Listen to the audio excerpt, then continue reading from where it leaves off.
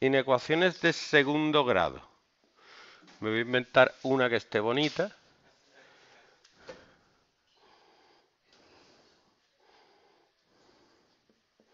Por ejemplo esta. x cuadrado más 2x menos 3 mayor o igual que 0. ¿Qué hago con eso? ¿Me lo como con papas? Si este es segundo grado, hay que hacer esto. Primero lo igualo a cero.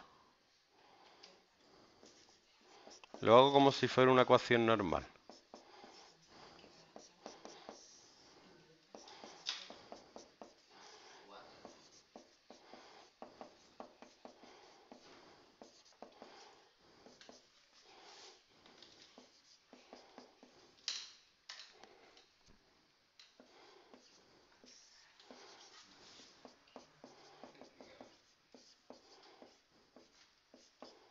1 y menos 3.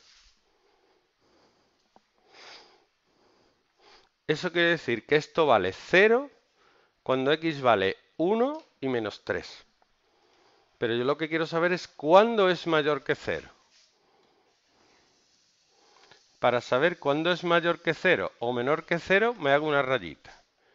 Y digo, a ver, cuando vale menos 3 es 0. Y cuando vale 1 es 0 si lo quisiera dibujar como una función, significa que es una función que por aquí es positiva, por aquí es negativa, por aquí es positiva y por aquí es negativa, o al revés. Por aquí es negativa, por aquí es positiva y por aquí es negativa. Una parábola. ¿Cuál de los dos casos es? Pues para saberlo me cojo un número entre menos 3 y 1. Por ejemplo, el 0. Un número mayor que 1 por ejemplo el 2, y un número menor que menos 3, por ejemplo el menos 4. Y sustituyo ese número aquí. 0 al cuadrado más 2 por 0 menos 3 es menos 3.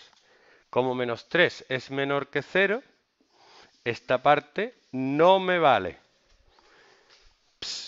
no me vale, porque me dice que tiene que ser mayor o igual que 0. Si cojo el 2, me queda 2 al cuadrado más 2 por 2 menos 3. Queda 4 más 4, 8 menos 3, 5. Como 5 es mayor o igual que 0, esta parte sí me vale.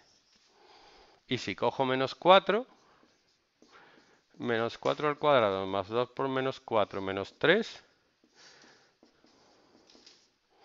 me queda 16 menos 11, 5, que sí es mayor o igual que 0. Entonces, esta parte sí me vale. Por tanto, el intervalo en el que se cumple esta ecuación es desde menos infinito hasta menos 3, unión 1 más infinito, cerrado, ¿vale? ¿O no vale? Pues ya no voy a hacer más. Me queda una cosa nada más.